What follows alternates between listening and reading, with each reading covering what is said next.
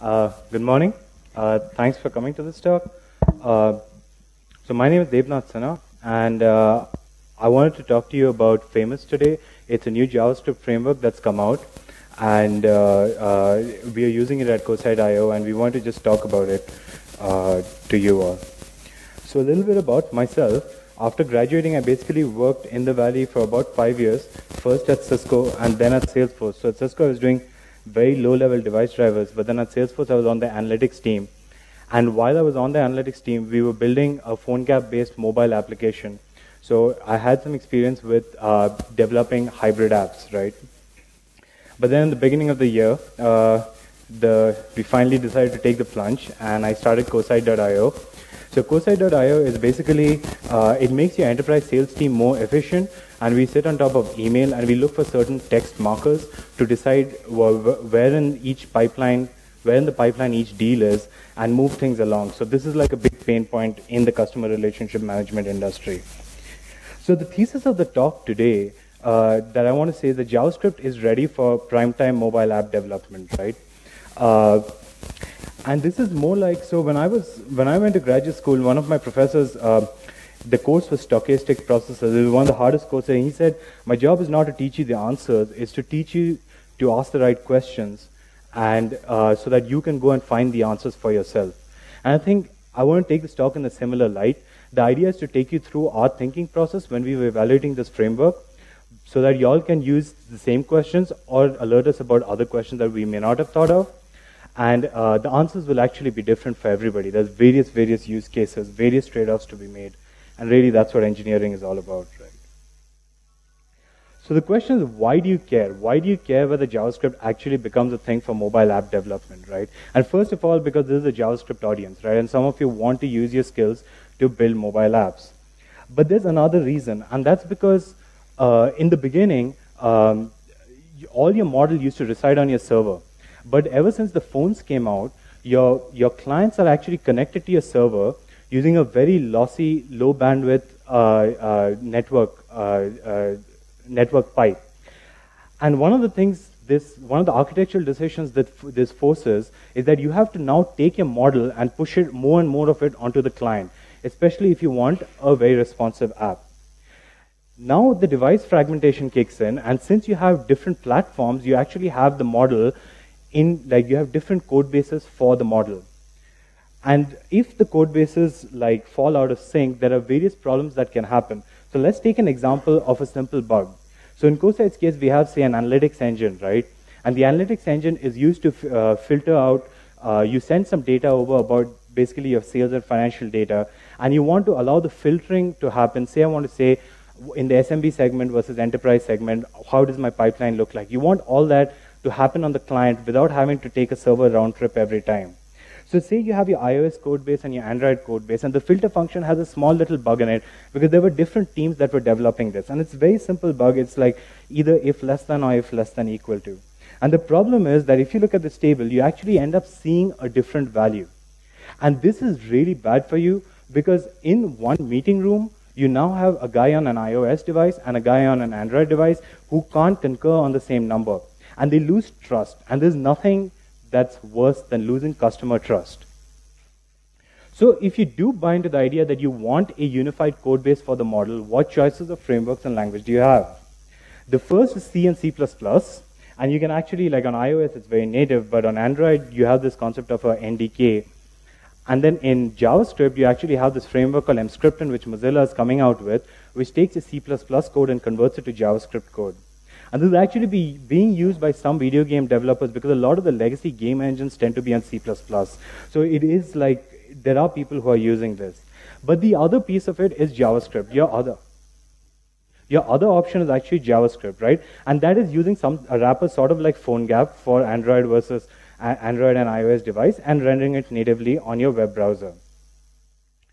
So one of the, the structure of this talk is basically to uh, talk about the features we thought were important in building a high quality app, right? And we'll go through them one by one. So first, let's talk about performance. So the first thing you hear when you talk about hybrid apps is that, oh, JavaScript is slow compared to native, right? But we're engineers here, so let's try to dig in a little deeper into which piece of the stack is actually a bottleneck. So if you look at the stack, on the first, like on the bottommost layer, you have the device OS, above which you have a wrapper, sort of like PhoneGap. Then you have the JavaScript interpreter, then the browser rendering engine, and depending on your mental model, you can think one above the other or below. But for this, the thesis is that they're different layers, and above all of that sits your app. So let's talk about the wrapper. So the wrapper, the point is that you want the latest uh, browser rendering engine for a very performant application. And unfortunately, things like PhoneGap default to the default browser. The problem with this is that the default browser before Android 4.4 was not Chrome. It was, the it was actually the Android browser. And uh, which would be fine in an iOS world because iOS tends to, iOS users tend to upgrade to the latest iOS that comes out fairly quickly. But on Android, if you look at the Android adoption usage, and we pull this right from, from the Android developers page, most of the world is still not on KitKat. And this means that you actually have to address the issue. So if you want to use more powerful features like web workers or say WebGL, you actually need a new rend- uh, the latest rendering engine. And there are people who are like trying to address this. PhoneGap also has an option for uh, downloading the latest. But the problem with this is it increases your app size. And that is the trade-off that you have to decide whether you make it or not. May not work well for the bottom, uh, like the low-end smartphones, but for the high-end smartphones, it's a different issue. So then let's move up one layer of the stack to talk about the JavaScript interpreter, right? And the, the point is, if you look at if you look at the history of interpreters, right, it used to be true that back in the 80s, it was performant to write assembly language code, and you could actually get very good performance out of it. But today, not many people write perform, uh, assembly language code. Uh, a C compiler has become good enough, right? And so the question, the thing you want to keep your eye on is when is this compiler becoming better? So if you look at a JavaScript, the interpreter used to be slow. And then Google invested in it, and they came out with V8. They spent a lot of resources building it, and now it sits inside Node.js, which many of y'all actually use on the back end. So if you look at JavaScript performance, when it comes to native compiled C, it's about 80% when it comes to matrix multiplication, at least. And let's start, like, I'll get to a little more detail about why matrix multiplication is important, but it has to do with computer graphics. Then let's talk about the browser rendering engine. The question is, is the browser rendering engine really inefficient? And in some sense, this is true because browser rendering engines were built to render documents, not the kind of rich apps that we are building today. And so let's talk about uh, an inefficiency in the browser rendering engine, and that is layout thrashing. So there's two codes, one on the left, one on the right. And both of them have the same functionality. Yet the code on the left causes two paint cycles on your browser, and the code on the right causes one paint cycle on your browser. That means the code on the left takes two, like its FPS will actually be lower than the code on the right. And so it will give you a jerkier UI. The problem is when you're building an application, it's very hard for you to keep track of this, how, the, like exactly how the uh, uh, DOM is rendering, how many paint cycles are being caused. And so now you see new libraries, there's things like Shadow DOM, which are trying to address these issues. But if you, if you actually come from the multi-threaded world, right, you will notice that actually um, there's concepts like serializability and compilers like GCC and JVM are actually allowed to reorder your statements so that they maintain the same, as long as they maintain the same functionality, so that they can use things like if a variable is already in cache, then let me use that while it is still in cache.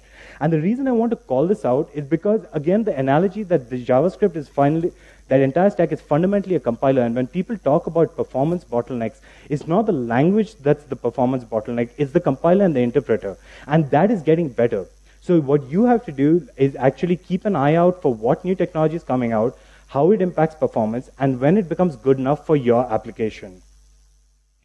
So to create, if you take the notion that right now the apps that we are creating are basically three-dimensional worlds with lots of animations which are being rendered onto the two-dimensional screen of your phone, let's go to another industry that has actually done this for the last two decades, and that's the video game industry, because maybe they have some things to teach us. And the entire, the fundamental premise of computer graphics and the video game industry is that all the entire 3D world can be brought projected onto a 2D screen using a bunch of 4x4 transformation matrices. You combine them in various ways to get the positioning that you want. Anything like rotation, skew, or even translation, or if you want to resize one compared to the other to bring things up front on the z-axis. It can all be expressed in the, with the series of these multiplication uh, transformation matrices. And that is exactly the trick that Famous uses. So what Famous does is it takes your code and creates its own render tree. So rather than relying on the browser's inefficient render tree, it actually takes your own render tree. It creates its own render tree.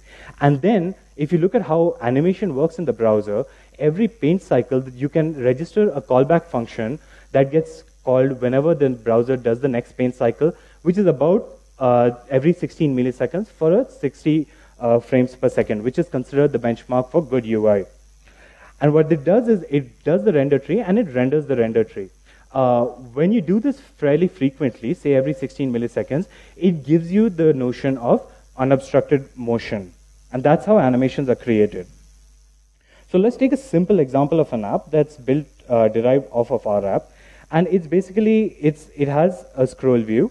And this is your, whenever you're taking actions on the customer relationship man management side, whenever you're updating a deal view, it gives you an activity feed. And on the other hand, we have the home screen where you basically have CoSight's logo rotating. And this was more to show you how the physics works. So let's actually look into this app and see how exactly you structure it. So the first is you need to plan out your render tree itself, right? And so you have a header view, a content view, and a footer view. And the way it works in Famous is you have views. So if you've looked at UI development, you basically have views, and the views are sub-views, and ultimately you have like basically rendering elements, right? And it's sort of similar with even with this framework. And what you use to move views around is called modifiers. So let's look at uh, the header view. And the header view is basically, it's a surface, right? And the surface is famous for uh, speak for a div element. And what it does is you use the modifier to position the div element. And if you look at the div that's generated, you basically, if you notice very carefully, you have a, a Matrix 3D uh, WebKit transform. And Matrix 3D is basically a W3C API that tells where, uh, that tells how you're going to use this 4x4 matrix that we spoke about to talk about uh, to position the uh, position it correctly, right? Um, and this, because this is the reason it's important that it's a W3C standard, is because now you can expect every single browser to support it going forward. And so what you see over here is you basically had an almost identity matrix because this was at origin and you actually didn't need to move it anywhere. But now let's go into the uh, footer view. And the footer view comprises of two subviews, the home view, uh, the home tab view, and the activity tab view. And what the only difference between the header view and this, first of all, it's you're using an image, so it's an icon.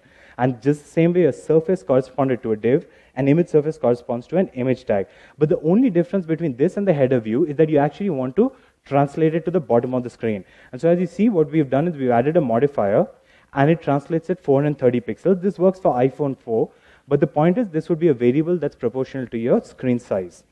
And as you can see, the, the 3D transform matrix, it actually moves it by 430 pixels.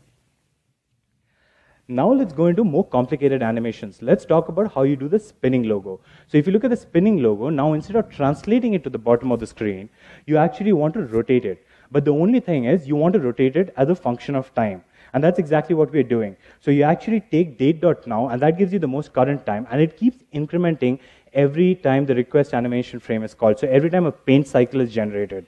And what you do is you rotate it a little bit more every time the paint cycle is generated. And so long as you do it at 60 frames per second, it looks like the whole logo is rotating. And if you look at the, the, the, the DOM itself, right, if you look at the div that's actually, the HTML element that's actually generated, it, it's, it's looking like a whole bunch of numbers because it's basically sine theta and cos theta based on whatever your theta being date dot now minus initial time. And so what you see over here is that you got a fairly complex animation based on something that is actually easy to reason about, not just for you, but for the guy who comes in and reads the code later. Because in any reasonable application size, a code is going to be read at least four to eight times for every time it is written. And that's just something you should design for. Now let's talk about tab transitions. So for tab transitions, uh, you basically saw that every time we click on one, a one view is brought to the front, and the other time it's replaced with a different view. So how do you address that issue? And so basically, if you look at the code, it says that if I click on the home tab view, then show home tab and uh, hide the activity tab. If I click on the activity tab view, let's show the activity tab and hide the home tab. So let's refactor this code a little bit and have a variable called state. and I just make state 0 or 1, and then say my display function of the view is proportional to either state or 1 minus state. So what this does is it establishes a constraint that only one of these uh, codes will be, one of the views will be visible at any given point of time. And how do we bring the view forward or backward? We basically change the opacity. So this is like sort of a CSS property, but we change the opacity from 0 to 1 based on which one is clicked. And then we bring it out up front. The reason you bring it up on the z-axis is because you want to capture the events on it. So if you're scrolling, you want to capture the click, you want to capture various events on it. Again, this is something that is fairly easy to reason about, not just for you, but the guy who comes in and reads the code later. So, but then what you see over here in the previous state is the state was either 0 or 1. So at t0, you basically have the state as 0, and then the next time it's clicked, it goes to state 1, and the next paint cycle, it automatically becomes the new view.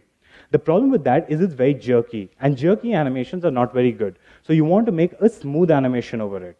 So how do you make a smooth animation? And the co construct that fa uh, Famous gives over here is actually uh, called transitionables, right? Another thing I wanted to point out is this was basically a tab transition, but you can generically use this to, uh, to synchronize various UI elements inside your screen. So say you swipe and you want to you know, bring out a new view that has the delete action as opposed to your normal view which shows, say, your email, right? That is also a similar constraint to this. It's just a synchronization primitive across your UI. So now let's talk about transitionables. What does it do? It basically takes a number and says that from start value to end value, instead of making it discrete, I'm going to make it a smooth transition depending on a curve that you specify. So you can specify any kind of a physics simulation, say a spring action or something like that, or you could specify some kind of a, a tween curve, right? And so if you look at the example below, you basically start out the state as zero, and then you tell it, uh, transfer it to state one, but do it over 100 milliseconds and use a curve called ease in, ease out. The curve itself doesn't matter. You could think of it as a spring animation. But the point is now you're doing it over 100 milliseconds, 100, 300, whatever. It's much more soothing to the eye. And so now you see that you basically using Famous, you've been able to construct very complex animations and yet reason about it in a very simple manner. And I think for us, we think this is like really, really powerful, right? And this is why we like this framework. So what about the other features? So we've spoken about performance and how Famous impacts the layout engine, and it in a lot it goes a long way forward in solving the performance bottleneck, right? What about the other issues? Uh, what about the other uh, pieces to a really complex app?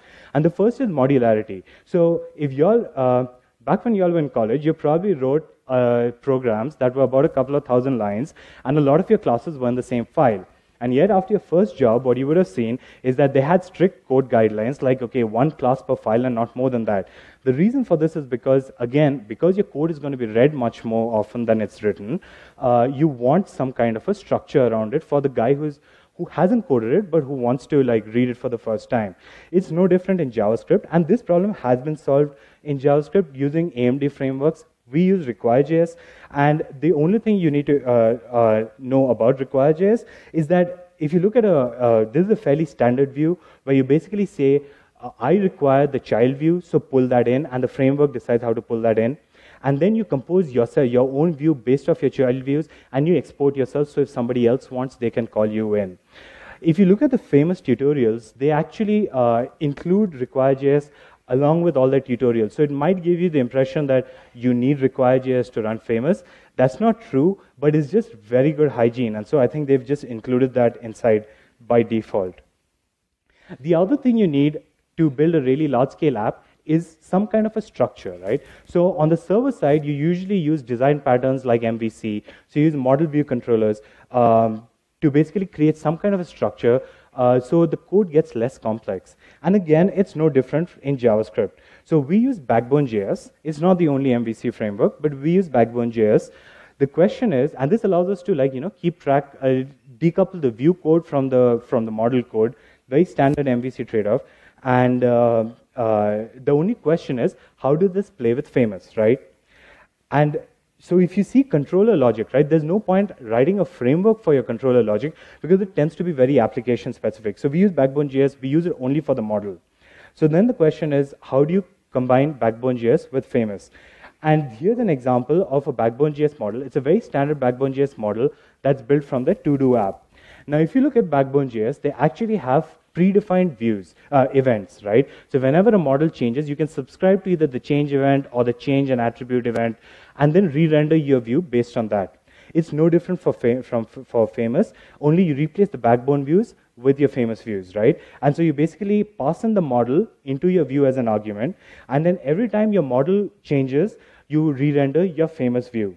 And that's how you basically combine fa backbone with famous. There really isn't that much, uh, uh, it's, it's, it's, it fits in very well together. But Backbone.js is not like, I was reviewing the slides with some people and they say, oh, is Backbone.js a requirement? It's not a requirement. There are people who are trying to build Backbone.js, uh, famous integrations with AngularJS. There are people who are trying it with React.js, although React.js is not a model framework, it's more of a view framework. And to mention some other integrations, you have it like P Famous is trying to work with uh, PhoneGap, with Crosswalk, uh, Intel, that's basically. And uh, these are the other integrations, right? Then the next thing we think we need is responsiveness. And when I say responsiveness, it's an overloaded term. I don't mean media query responsiveness. What I mean is since we are building an analytics engine, you need to make sure that when you are filtering any data set, when you are slicing and dicing any data set, you don't want it to happen in your UI thread because then it feels like it's not performant. And then people complain about the quality of your app. The JavaScript construct for this is actually web workers. And if you look at web workers, uh, the same wrapper comment that I made earlier, the wrapper argument, it applies over here. So it wasn't true in default Android browser. But if you, and so if you need to use web workers on Android, you actually need a more performant browser, uh, more performant rendering engine. And there are these various options that I mentioned earlier. Same thing for WebGL. We aren't really looking at WebGL right now, but if you wanted really good physics on it, you'd basically, right now, iOS 8 has actually opened up WebGL. So in some sense, they've been dragged into the web world kicking and screaming. Uh, so if you wanted to use it, that's another reason, like another place where you'd actually need a better rendering engine. The next thing is offline access. So why do you need offline access? And that's because you're actually sending a lot of data over to the client side. And if you do it every time the user requests for, say, the latest sales data, if you don't send the diff and you send the whole thing over, it's less responsive and you're really chewing up battery life, right? And that just makes for a really bad experience from the user's point of view. Now, offline access is not a given, and this is something I've seen, like especially with JavaScript developers who are coming from the web world, where you had a broadband connection between the client and the server. It comes as an afterthought, and it really needs to be engineered right from the start. So this is a really cool. Um, so I, I, was searching for how do you simulate offline access, and I found this really cool, cool picture. It's really it's a it's a Faraday cage, right? It's an aluminum wrapper, and what it does is so long as the the the the width of that of this uh, device is less than the wavelength of your um, 3G spectrum, you can simulate offline access. But more often than not, when you're developing, you need something on the emulator. And there's this tool, at least on the Mac, called Network Link Conditioner. And it allows you to uh, simulate your network access as various kinds. Either it's a lossy network access, or it's not lossy, but it's low bandwidth, various kinds. So we use something like that. And the last thing is debugging right? That's really important. And like latency, you want to uh, talk about debugging on the 99th percentile, which is you don't want to like say, can I debug the Hello World application that actually they show on their web, on the framework's web page, but can I, if like the hardest debugging question, uh, problems I've ever encountered are like only some customers are seeing this and only some percentage of the time, and maybe they have a particular screen resolution. So you want to be able to say like, can I debug things like that, right? And if you look at debugging on HTML5, right, um, any HTML5 app, you generally tend to do most of your debugging on Chrome DevTools, right? And you basically set an emulation mode. And this has worked in the past because both Chrome and Safari use the WebKit rendering engine. But Google recently forked off WebKit into their own Blink engine. Needless to say, they did it because they thought the code bases would diverge. So the same assumption you held, saying that I can develop it on Chrome, on the WebKit engine on Chrome, and it will work similarly in Safari. Granted, there are some if conditions for mobile thing, but if the same condition doesn't hold true anymore, and this is another place where we see Famous having an advantage. Because you're using the same rendering engine on both browsers, the chances that you'll see a, uh, a problem, uh, a bug in one of the frameworks and not in the other is actually reduced. But it still remains scope for improvement. If you look at why LinkedIn moved off from HTML5 uh, to native, they basically said a lack of tools, as a, cited a lack of tools as an example. And so I hope we made the argument that JavaScript actually is ready for mobile app development, but for the first billion users. As we know, like Android One and Firefox OS, there's a whole range of low-end smartphones that are about to hit the market or have already hit the market. Uh, and the question remains, what about these low-end devices, right? Will the same thing work? Will JavaScript be a useful platform on them? It's important. A point of note is that the, the cheapest low-end smartphone today, it's built by an Indian company called Intex. Actually runs the Firefox OS. It's a Firefox OS. It's about 2,000 rupees, right? And so Firefox is definitely trying in this area, but there's a lot of questions that need to be answered. The first and foremost is, does this actually have a GPU? Because if it doesn't have a GPU, it wouldn't matter if you're developing on JavaScript or native. You cannot have the same graphics. Because if you take the same graphics that the GPU renders and render it on the CPU, not only will it be bad UI, not only will the UI be jerky, but you'll also drain battery life a lot. So it, irrespective of whether you're hybrid or native, you're actually going to have to redesign the app if they don't have a GPU. And then the other thing you have to keep an eye out for is what kind of browser capabilities are you going to need, right? And this is very application specific. So again, coming back to the point, here are some of the questions you should ask, and the answers will of course depend on you. Uh, yeah. So Famous is currently being used by uh, like a few companies. It's still in the very early stages. So uh, like I like saying, it's sort of where Docker was like two years ago. Um, they've raised about $25 million in funding, and they got a bunch of people. Um, they're working with some big companies, uh, sort of like Intel and Adobe and all of these people. But the ecosystem is still in a very early stage, which is again something you have to consider when you're deciding to bet your company on this or not. And so, to summarize, I basically want to prove, prove uh, like I basically want to make the argument that you actually have a um, JavaScript is becoming more performant. The interpreter is getting better. There's a lot of people who are trying very hard to make this uh, push. You'll still find, depending on your requirements, whether you're, um, whether you know, you're, you're, the connection between you and the client is really a 2G connection or not. Uh, based on whether you actually need that kind of animation or not, based on whether you need the model to be the same or not. You need to make your own decisions. But these are some of the questions that go into whether it's right for you or not. And that's all I had for the talk. So open for questions.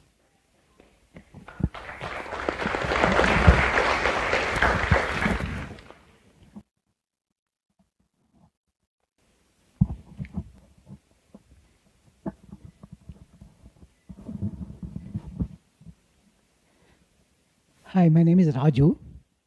And now, I, uh, can you hear me? I, okay, got it. Hi. Yeah. uh, my name is Raju. Yeah. And we are working on some technology for the presentation. But I wanted to know if FAM, FAM was and how does it work with scalable vector graphics? Because Sorry? that is scalable vector graphics, SVG. Oh, okay. So if you actually look at um, if you look at famous, so the answer is I don't actually. Um, I don't know because we haven't had to evaluate it for scalable vector graphics. Uh, the reason I because, think they- excuse me, yeah. can, can I, Yeah, yeah, the yeah. reason because I'm asking scalable vector graphics is yeah. you have the two-dimensional, three-dimensional control far better than uh, desktop GUI API. For what? Uh, no, no, scalable vector graphics, you have a two-dimensional, three-dimensional graphical interface. Right. 2D, 3D gra- vector Right, graphics, so right. you can create far more compelling. Uh, No, no. Yeah, yeah.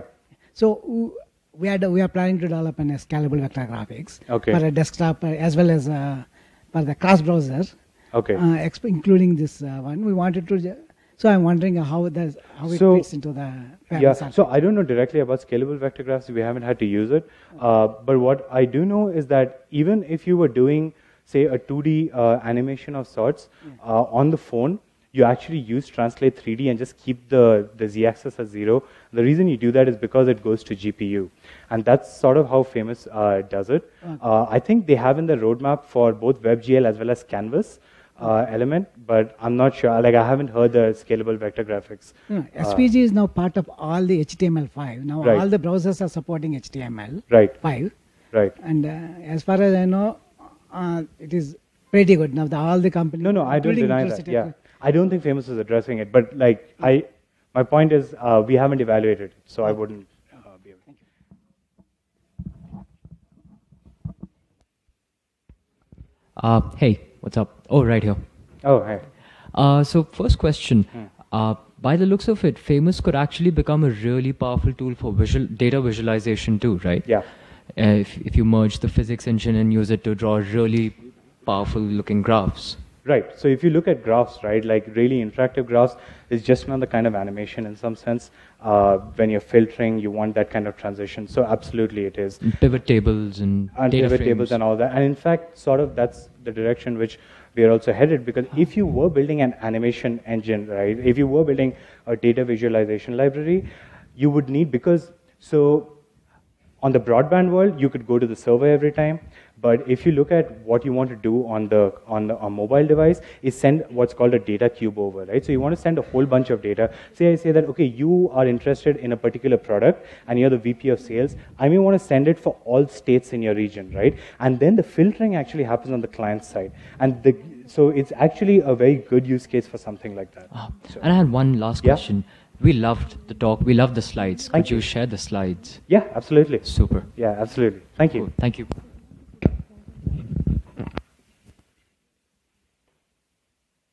Hello. Yeah. Yeah.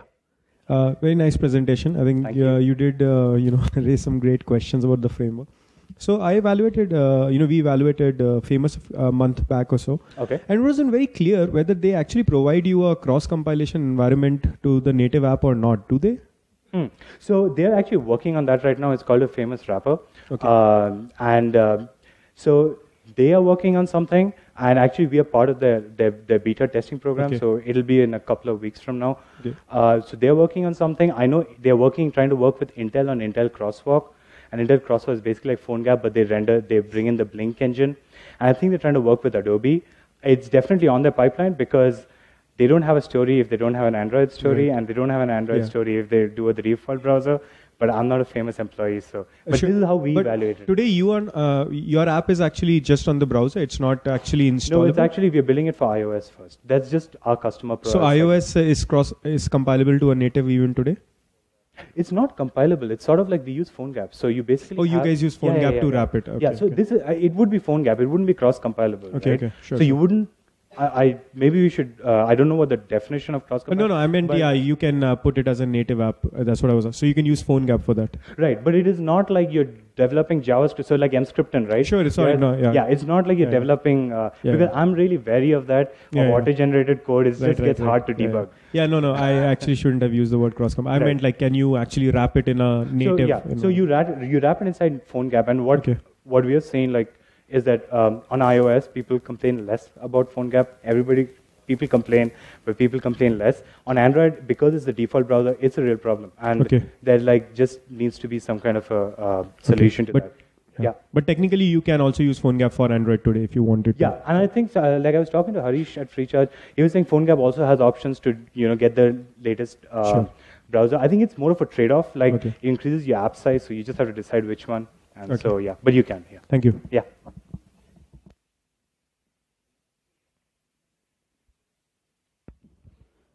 Hi. Huh. Here. Here. Oh yeah. So hi, I am working with Nagra and we are basically developing JavaScript application on set-top boxes. Okay. So say uh, they are furthermore low architecture what we Right. assume.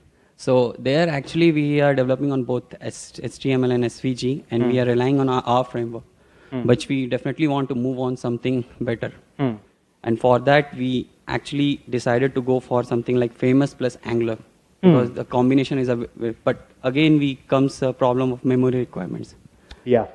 So, So- I want your some feedback. Like, uh, is it like if I if if I go on the debugging on both the frameworks, it's like a lot of times and probably pain, and I Right. lose my application time over there. Right. Right. So something there, if you can. So I would say that the, the memory usage would be proportional to the complexity of your render tree, right? So yeah, so it would be something that you would have to. I would run a benchmark, and the reason for this is because if you look at where Famous is trying to head, it's these phones, right? It's it's it's not going to be. They're trying to do a build all for everyone, but ultimately, if it makes a trade-off, phones are a more lucrative market, and um, it will be proportional to your render tree. So currently, Famous says they do about uh, 500 to 2,000 renderable elements. This is before WebGL comes out. Uh, and I would basically run a benchmark to see because if it, you're right, like if it's too low, it basically falls back to the case of the low-end smartphones, right? And like that would be a whole different evaluation. And the other thing is. Uh, maybe WebKit transform, like I don't know if you guys have a GPU or not, but if it's not, then it's really not adding any benefit to you. So you can actually then uh, take the same constructs they do, but you know, like perhaps you'll have to make different uh, trade-offs because it's the same thing as the low-end phones. Like if you don't have a GPU, it's not really adding that much benefit, in my opinion. Uh, one related question. Uh, Yeah. you talked about frames per second, 60 frames per Yeah. second. If uh, the apart from uh, running famous, uh, something else is uh, going on at the background, Hmm. which is eating up the CPU, does it somehow interpolate the? f- Uh, no, you drop some frames and interpolate uh, the the frame transition somehow, or uh, So, right. So the way it works is it basically, um, so the browser basically gives you a callback for every which, which a function which it calls every time the paint cycle happens, right?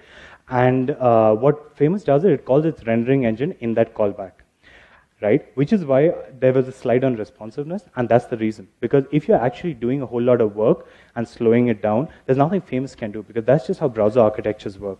So the way I would suggest doing a compute intensive thing is put it to a separate thread. So that's what web workers are for. So you don't want to overload your UI thread a lot with other kinds of computation. What you want to do is you want to put it into a different thread. That's also how you do native, by the way. So if you're saving a large quantity of data onto the file system, you do it on a different thread because you don't want to overtax your UI thread. And that's you have to do the same thing. It's basically engineering. It's not a magic bullet, right? Famous. It's just making different trade-offs. So I would do that. Yeah, hi. Yeah. So you mentioned about famous being responsive, right? So uh, that means uh, Uh, for it's not. Yeah. Go ahead. so uh, it, it means that it works for different resolutions. yes, but I did add that I didn't mean responsive as in media query responsive. I meant more like the, the web view, like responsive as in the the thing that he mentioned. Okay. But yes, it does work for different uh, res- re- resolutions. And sort of, if you go back to the slide where I translated the photo view down, it was a number. It can very well be a variable, right? No, my question is actually can it replace the Bootstrap framework uh, in the sense? Oh. So Bootstrap. It depends on what you're saying, right? So if you mean the Bootstrap JavaScript framework, a CSS framework, basically. So the CSS framework is more about presentation, Right. Right. Frameworks is more about the layout. So it's it's if you look at if you look at the slides, you actually use CSS classes. We use CSS classes to style it. If you look at the problem that comes with CSS, is when you have to arm wrestle with CSS to get the layout exactly right, and that's the problem that Famous solves for us is the layout. And the presentation, we actually we like we could use Bootstrap. Like if we are not we don't use it right now, but like it, it could very well be done because what you're doing with Bootstrap is sort of styling, right? And they've got it really good. In fact, the reason it's really nice is because people are used to Bootstrap buttons, so you don't have to, you know, have it. Thank you. Hello. Yeah. Hi. This is Yeah. Ritesh here. Uh, I can see you have used Backbone model. Uh, so I have a question related to that. So why you have chosen Backbone model? Why not Angular or you have created your own model? That is one question. And the second question is uh, why you have not used Backbone views and the templating, which which also do the same rendering kind of thing. Yeah. Right. So the reason we didn't use backbone views uh, is because we are using famous views for the layout, and that gives us like a whole lot of advantage. If you look at backbone views, they're fairly light. They basically say if you get this event from uh, the the the model, then re-render this thing, right? And really, it's about how you re-render it. So it's it, we felt it was fairly light, and it wasn't. We don't want to like just keep adding complexity to it. Since we were using famous for the layout, uh, why we use backbone model is because I'm just used to the MVC framework and it just helps me reason about it. So it helps me say, for example, uh, go to the server and collect a diff and then like repopulate it. That's stuff that I would anyway have to do, but it would be my code and it would be bad code. I might as well rely on a framework for that. Yeah, I was just thinking like why backbone model? Like, is there any advantage of using backbone model lightweight or something? Like, or you just like, So just, yeah.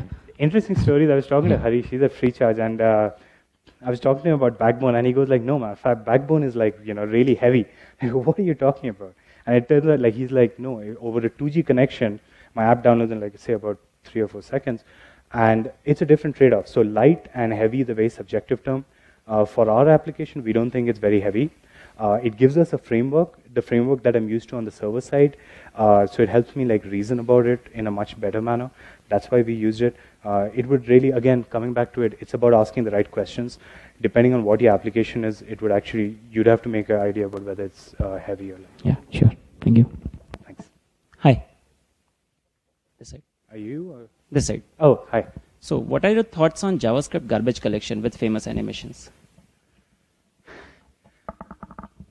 We haven't hit the issue, but I think they are incentivized to solve that. Because if they can't, if the UI becomes less responsive because they're collecting garbage collection, uh, the whole thing won't fly. Having said that, the way they address the issue today is they limit the number of renderables, right? So they don't limit it, they just, it's more of an advisory thing, but they say 500. And then when you benchmark against these 500 or 2000 elements, uh, it, it, that's not that many objects. Uh, the reason I'm asking is because for the demos, it all looks very good. Right. But once you go into the big scroll view, it all gets messed up. So they, so okay, that, that's a that's a great point. So, and this is an interesting story. So back in 2012, we were trying to look at um, hybrid applications, right? And at Salesforce, it actually makes sense to do something like PhoneGap because um, we have like hundreds of thousands of you know business or like business objects. What's a record for me is a dealership for a car dealer. It's a patient. Um, and uh, actually, so scroll is a huge problem. And at that time, around that time, uh, Mark Zuckerberg, like two weeks after we decided to do this, Mark Zuckerberg came out and said, the biggest mistake we've ever made is betting on HTML5, right? And you don't, like, that is something that you don't need. The problem was, so Sencha, the guys behind EXTJS, actually went back and showed that you could build a performant um, a Facebook app. And the thing about infinite scrolling is that if you keep appending to the DOM, that is what causes it to slow down because you have a lot of elements on the DOM. And if you look at how table views are rendered on the native side, you basically have, say, 10 or 20 cells, and you keep reusing them, right? So your, your depth doesn't go beyond. So if you look at all the infinite scrolling, anything that actually does perform performant infinite scrolling today, they actually reuse these cells again and again. And that is what uh, confirms that if your scroller isn't doing that, you'll always run into garbage collection problem, and that's just the wrong way to do it. So that is, if you're worried about scrolling, that's what I would say. And that's how they are implementing it. Uh, one more. Yeah, yeah, yeah. Uh, any special reason I should switch to Famous compared to already set three.js CSS3 renderers? three.js. Yep. Ah, okay. So three.js is WebGL, right? And so first, the first reason is not every browser has WebGL. They have a CSS3 renderer, which oh, they have a CSS. So no, it isn't. So I'll tell you how we evaluated it. It was more like in a post WebGL world, does Famous have a thing, right? Uh, does Famous have a story? And uh, I don't know much about three.js, but I think the languages like meshes and things like that, uh, really the way we would evaluate it is how do both communities respond in creating components, right? So if you look at iOS versus Google's latest material design, in one of them you press a button, it goes down, in the other one it comes up, right? That is not the kind of stuff I want my engineers spending time on. And that uh, any community that solves that, any framework that solves that going forward will be um, it, will be the winner, right? Because no one has um, no one has ownership of something like matrix multiplication. Both can do it, both will do it, right? And so it'll basically depend on what are the components, what are the widgets that you can build? Can you like alleviate the fact that if I want to build a basic app, I don't have to worry about the discrepancies between iOS and uh, Android because they are diverging. Uh, guys, this is the uh, last question because we need to move on to the next talk. Uh, I have one. Uh, sorry. Uh, yeah. All right. So th- that's All the right, last question. please, yeah. Okay. Uh, as per as per the said, like if you use more translations, 3D or 2D, it takes more. It goes to GPU and drains your battery. Right. Okay. So if my app my app has got so many translation like that, how do you balance such situations? How do you, sorry? How do you balance such kind of situations so that user never come to my app drains his battery? Oh, how do you design for like the not Yeah, draining battery? yeah. Uh, I would say benchmarking, right? Like, so one of the things I want to do is my, I currently have an iPhone. My next phone will probably be like a low-end smartphone, only because there's a whole new like billion users coming on that. Uh, I would say use your app, and if you're pained by it, uh, you would do it. in terms of technically how you would do it, you would try to reduce the number of animations or you would try to reduce the um, uh, the number of renderables, right? So maybe increase font size or things like that. It's a trade-off that you have to make uh, based on what your application is. But I would say always, to me at least, battery life matters way more than whether I have a really cool animation going. Because I can actually keep track of the fact that, oh, hey, uh, this app is going to GPS all the time, so let me not use it because I have only 30% on my phone. So users will give you feedback in that manner. And I would, personally, I would cut out the animations if I ever found it was draining battery. And Okay. the way I would measure it is to just use it. Okay. All Thank right? you. Thank, thank you all very much for your patience. Thank you.